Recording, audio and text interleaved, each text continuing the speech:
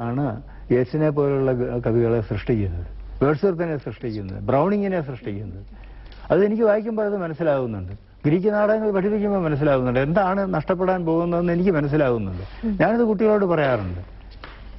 സംസ്കൃതമായ നമ്മുടെ രാഷ്ട്രത്തിന്റെ ഭാഷ സംസ്കൃതമാകേണ്ടതായിരുന്നു. ഹിന്ദിയല്ല ആകേണ്ടിയിരുന്നെന്ന് പറഞ്ഞത് ആരാണെന്നറിയോ അംബേദ്കറാണ് അംബേദ്കർ. സാക്ഷാൽ അംബേദ്കറാണ്. ഇന്ത്യയിൽ ഒരു രാഷ്ട്രമേ ഉള്ളൂ എന്നും ദളിതരും ബ്രാഹ്മണരും ഈ അബ്രാഹ്മണരും എന്ന് പറയുന്നത് വിഡിതമാണെന്നും ഇവിടെ ദ്രാവിഡനും ആര്യനും എന്ന് പറയുന്ന അസംബന്ധമാണെന്നും ഒക്കെ രണ്ട് വോള്യം നിറയെ എഴുതി നിറച്ച ആളാണ് അംബേദ്കർ. അദ്ദേഹം പാർലമെന്റിൽ മന്ത്രിയായിട്ടിരിക്കുമ്പോൾ ആദ്യത്തെ പാർലമെന്റിലെ തൊള്ളായിരത്തി നാൽപ്പത്തി ഒൻപതിൽ അദ്ദേഹം ഒരു ബില്ല് അവതരിപ്പിക്കാൻ ശ്രമിച്ചു. ഇന്ത്യയുടെ ഒഫീഷ്യൽ ലാംഗ്വേജ് സംസ്കൃതമായിരിക്കണം എന്നാണ് അന്ന് അതിനെ സപ്പോർട്ട് ചെയ്തവരാരൊക്കെയാണെന്ന് പറഞ്ഞാൽ വിശ്വസിക്കുമോ? കേസ്കർ. ഡോക്ടർ കേസ്കർ സപ്പോർട്ട് ചെയ്തു. നാസിമുദ്ദീൻ അഹമ്മദ് സപ്പോർട്ട് ചെയ്തു. എന്നിട്ട് അത് പാർലമെന്റിൽ അവതരിപ്പിക്കാൻ അനുമതിയില്ലാതെ പോയി.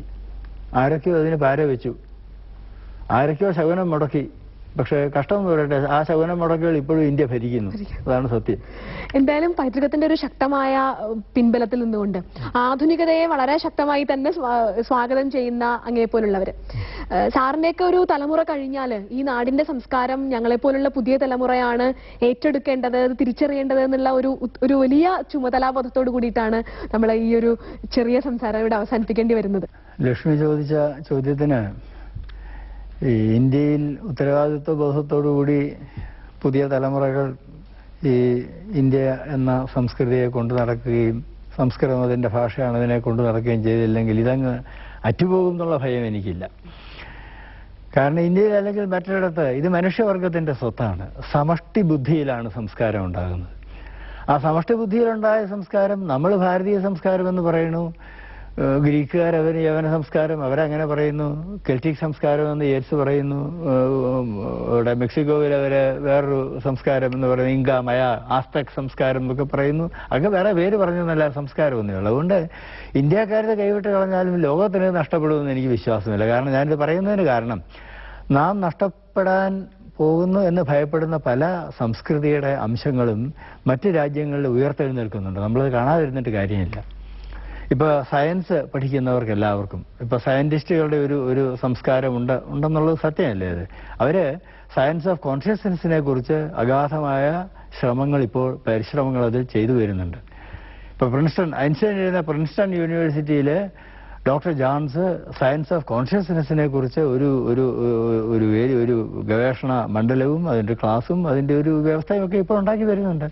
അവിടെ പഠിപ്പിക്കുന്നതിൽ ഇപ്പൊ ആകാശരൂപം ആകാശിക് ഫീൽഡ് എന്നുള്ള പേരിൽ ശാസ്ത്രജ്ഞന്മാർ ഉപയോഗിച്ചു തുടങ്ങിയിട്ടുണ്ട്. കാരണം ക്വാണ്ടം വാക്വം എന്ന് പറയുന്ന ആ പഴയ സങ്കല്പം ആദിമൂലമായ ശൂന്യതയാണല്ലോ ക്വാണ്ടം വാക്വം. അതിനേക്കാൾ നല്ല വാക്ക് ആകാശിക് ഫീൽഡാണ് ആകാശരൂപമാണെന്ന് അവർ തിരിച്ചറിയുന്നുണ്ട്. അതുപോലെ ഇന്നാളെ കാർലോ റൂബിയ കൽക്കത്തയിൽ വന്ന് പ്രസംഗിച്ചു. അദ്ദേഹം നോബൽ ലോറിയേറ്റ് ആണ് ഫിസിക്സിലെ നോബൽ ലോറിയേറ്റ് ആണ് അദ്ദേഹം ഇങ്ങനെ ഈ പത്ത് ശതമാനമുള്ള മാറ്ററെ നമ്മുടെ നമുക്ക് അറിയാവുന്നതായിട്ടുള്ളൂ ബാക്കി തൊണ്ണൂറ് ശതമാനം നമുക്ക് അറിയാൻ വയ്യാത്ത മാറ്ററാണ്. അത് എവിടെയോ ഒരു somewhere in the in the black star oh somewhere in the black hole എന്നൊക്കെ പറയുന്നുണ്ട്. ഇത് പുരുഷസൂക്തത്തിലെ പാദോസ്യ വിശ്വാഭൂതാനി ത്രിപാദസ്യ അമൃതം ദിവി. കാൽഭാഗമേ ഇവിടെയുള്ളൂ. ബാക്കി ത്രിപാദം മുക്കാൽ അമൃതം ദിവി. അമൃതമായ ദ്വീപിലുണ്ടെന്ന് അവർ പഠിപ്പിക്കുന്നു.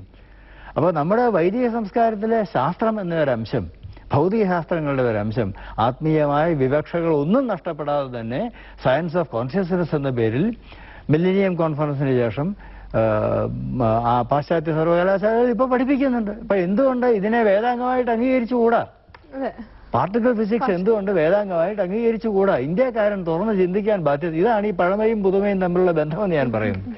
പഴമ പഴ- പഴമയാകണമെങ്കിൽ അതിൽ പുതുമ ഉണ്ടായിരിക്കണം. പുതുമ പുതുമയാകണമെങ്കിൽ പഴമയിൽ നിന്നുള്ള പുതുമയാകണം. ഇത് രണ്ടും ചേർന്നാണ്. കണ്ടിന്യൂറ്റിയാണ് ആ പരമ്പരയാണ് പാരമ്പര്യമാണ് പ്രധാനം. അതുകൊണ്ട് ഇന്ത്യയിൽ അസ്തമിച്ചാൽ ലോകത്തിന് നഷ്ടപ്പെടുമെന്ന് എനിക്ക് യാതൊരു തെറ്റിദ്ധാരണയില്ല. അത് വിവേകികളുടെ മറ്റേതോ മണ്ഡലങ്ങളിൽ മറ്റേതോ യജ്ഞശാലകളിൽ അത് തീർച്ചയായിട്ടും ഉയർത്തെടുക്കും മനുഷ്യവർഗത്തിന് നഷ്ടപ്പെടുകയില്ല. സംശയമില്ല.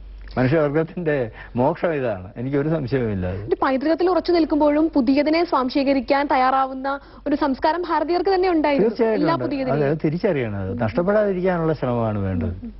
ഈ ഒരു തിരിച്ചറിവിലാവട്ടെ ധന്യമായ ഈ സമീക്ഷയുടെ അവസാനിപ്പിക്കൽ സമാപനം.